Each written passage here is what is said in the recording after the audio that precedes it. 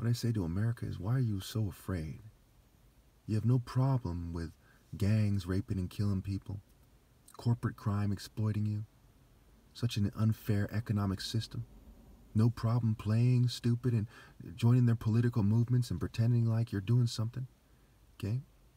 We all know if the gang started ta- targeting Elon Musk and them and all these people bringing in this technology to control us more, they'd crack down on. They send a bunch of dick hard conservatives with ARs, militia to assist the police, and they'd sweep these gangs and they'd build new prisons, and voila.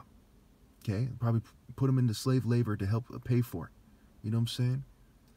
But as it stands right now, with 433,000 rapes a year, with all the gang violence, with all the violence in general, domestic violence, all the drug problems, okay, all the corporate uh, uh, policies that create these problems that make these people feel like it's a good idea to do these things, okay, everyone's just playing stupid every day. Nine million people starve to death in the world. Three million uh, of them are children, okay, one in three. It's okay to these people, you know, it's the same mentality of these corporations. They come together, listen carefully, they come together in their board meetings and they define the kill rates. They say this many people are dying already. If we make these adjustments as massive corporate partners, okay, this many people are going to die. If we do it this way, this many people are, are going to die if we do it that way. That's social engineering. That is a part of corporate partnerships and business. You know that you're going to change the culture. And part of the culture is it's a culture of rape and death. When you have 433,000 rapes a year in a country, that's over a thousand rapes a day. Okay? And that's just those forms of rapes, not including rape by deception, which is creating a system where people are too stupid to, to date with their heart and they're being deceived into dating with social norms that come from their oppressors. They have been deceived.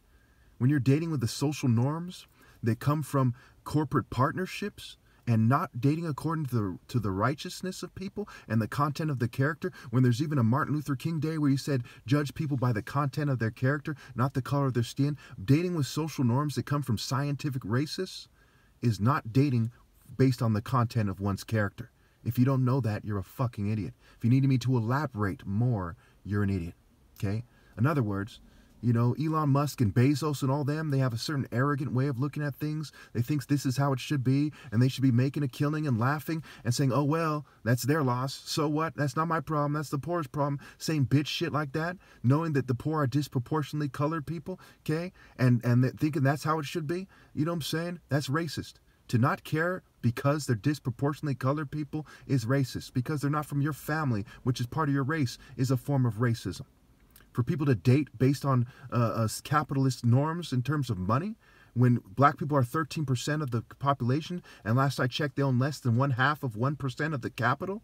And to, to be gold diggers and hypergamous and say hypergamy is good for society you know dating toward the money okay? Dating up is what they call it really dating toward hell. That's racist. You made it so black people don't have very much money. And then you said date people based on money is there a racial component to that? Yes. Are there poor white people that lose out? Yes. But does that change the fact that it's racist? If you say, hey, let's kill the poor people with an emphasis on non white people, okay, is that fucking racist? Yes.